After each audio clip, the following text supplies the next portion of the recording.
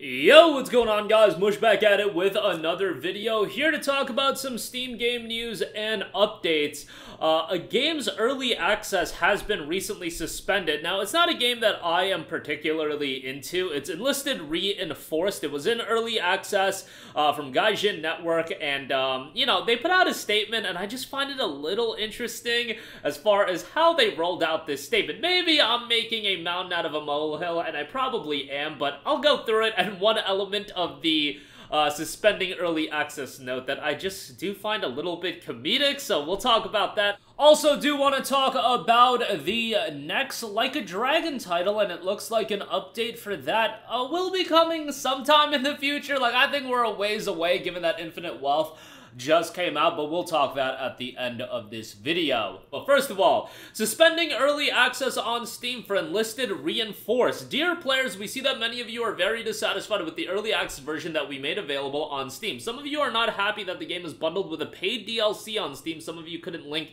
your existing Gaijin.net accounts to the Steam version due to technical issues. We're deeply sorry for this. We've removed the early access version of Enlisted Reinforced from the Steam store for now.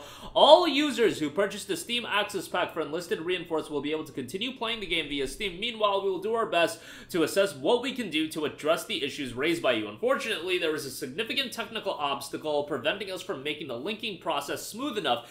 It occurs if a player is already linked their Steam account in another Gaijin.net game, but the email used there and the one used for Enlisted do not match. This completely breaks our linking procedure. The existing Steam version was never intended to be available to a massive number of players, hence the early access status, so making it available to existing huge audiences of Enlisted fans could probably lead to even more dissatisfaction, as more people would face these technical issues or new ones. We'd like to apologize once again for letting down both our existing players and the ones who wishlisted the game on Steam. Please follow the news on our website while we continue exploring our Steam options, looking for a solution for linking an issue and polishing all aspects of the game. The game did have a mixed reception on Steam for the duration that that it was available 180 reviews, 56% positive, and the game was a free to play, and uh, yeah, it is kind of crazy. The top review is kind of wild, um, and the negative reviews in general are kind of wild. Scammed because it's free in Gaijin. Um, again, it was bundled in with a paid DLC, so they were kind of marketing it as a paid game uh, while it was free to play on other platforms. The wildest thing to me is that they are opening up the apology with what seems to be an AI generated image of a cat looking sad in a military helmet.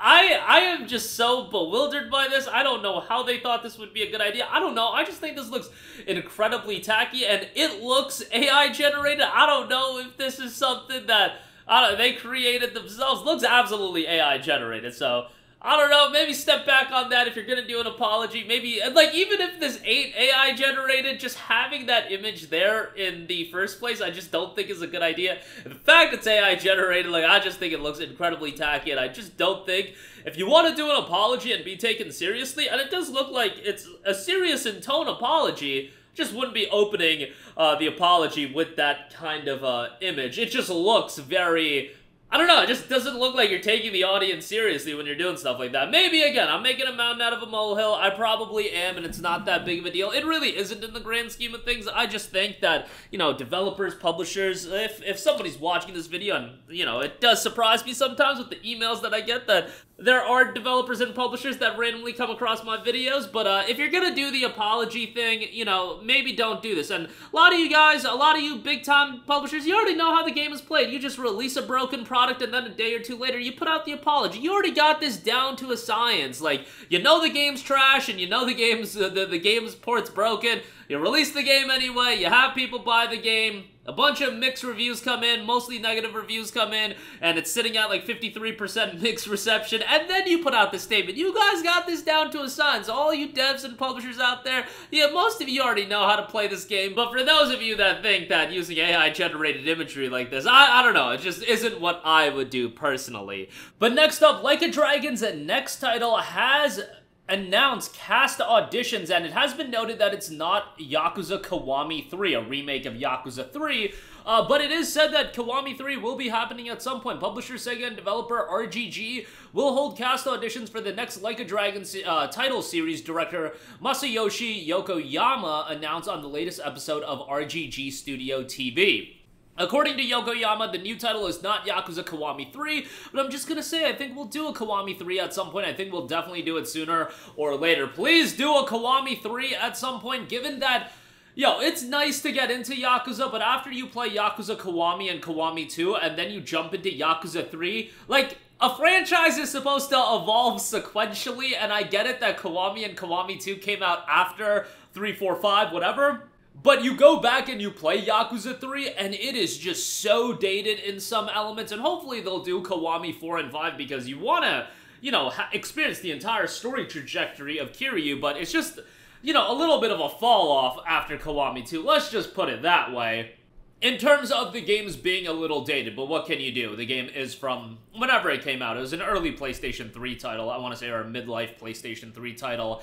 Um, it's not that old, but uh, the games from that era just do show their age. That's why games from that era have been getting more and more remakes, like the Dead Space remake that just happened. But the next RGG mainline title, like the next mainline Like a Dragon title, you would think it would be a game that this one would center entirely around Ichiban, not to get into spoilers for Infinite Wealth. I don't even know where they want to take the series uh, as far as from a narrative standpoint, but each Yakuza game kind of is its own contained story. Like, if you play Infinite Wealth, obviously you have to work your way through each game, but they all end with a bit of finality and you're like, okay, this arc is over. Where they want to take that next arc, I don't know. There's definitely things that uh, I'd like to see explore. Ichiban is a character, man. We just protect Ichiban at all costs. That's what I'm saying. Yo, Kiryu, you had your run. It was a good run. But like, yo, for me, Ichiban is that dude. And I feel like Ichiban is the kind of guy that, especially like as we're getting older and older, um, Ichiban's like a super relatable character. Obviously, it's like super outlandish, and Yakuza is just, just an outlandish game,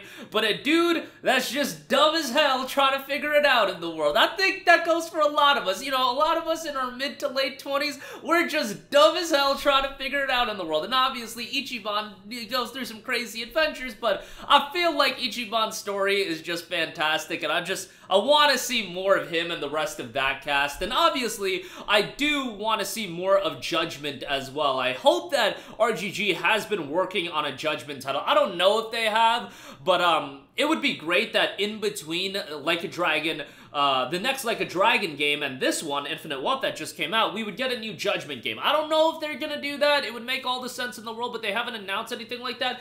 And, um, the fact that they're saying they're going to do Kiwami 3 at some point, uh, and they do say definitely do it sooner or later, maybe Kiwami 3, given that it's not going to be this big investment as far as development time, that these, like, Dragon games, these games are getting pretty freaking big, and you're talking about four-year windows between the games, that Kiwami 3 would be a quicker turnaround, so to speak. It wouldn't be quick, but it would be a quicker turnaround than, let's say, the next Like a Dragon game. But I would love it if the next major game from RGG was Judgment 3. Want to go back into that story uh, as well. And that, that franchise has got some great characters, and I would like to keep both styles of RGG alive. The beat-em-up style of gameplay, and then also uh, this new RPG style of gameplay where it's really a turn-based RPG that's, uh, you know, very, very good. I mean, these games are really great, but you know, it'll be interesting to see where the franchise goes as a whole. I just hope that, uh, you know, Ichiban is still at center stage. And I feel like he will be. I feel like, you what? You've, we've only gotten two games out of Ichiban at this point. Here you got, like, an absurd amount of games. And I get it, back then, games were quicker to develop, games were quicker to turn around, and uh, it's not like Like a Dragon. These games are massive uh, absolutely gargantuan. And the older Yakuza games were lengthy as well if you did all the side stuff and whatnot. But uh, with Like a Dragon Infinite Wealth, that game is just, it's kind of daunting how much content is in that game. And uh, I would imagine the next one would be very similar. But at the same time, you've got a lot of the fundamental gameplay aspects already built. You can parlay that over, but we'll see where they go. Hopefully Judgment 3 is next. Fingers crossed on that. But that'll do it for me. Again, interesting as far as that Steam Games Early Access being suspended. I just think they handled it a little bit questionably. As far as Like a Dragon goes, it looks like they're casting for the next uh, major titles. Cast auditions are going on, and uh, hopefully that game will come out, you know, in a few years from now, but the next game from RGG would love for that to be uh, Judgment 3. That'll do it for me again. Your thoughts down below as always. Thanks for watching. I'll catch you guys in the next one. Peace out. Hey, what's going on guys? Mush here again. Hope you enjoyed the video. As you guys might know, YouTube's notification system is sometimes a little bit wonky, even if you're subscribed to the channel. Maybe you're not abundantly aware that I uploaded a video to remedy that situation. Make sure you hit the bell notification button. This way, whenever I upload a new video, and I try to upload as consistently as possible, you will be notified directly of the upload, and you can watch it as soon as it goes live. I would really appreciate if you guys hit that button so you can stay up to date with all the content I'm posting. But as always, guys, thanks for watching, and I'll catch you guys in the next one. Peace out.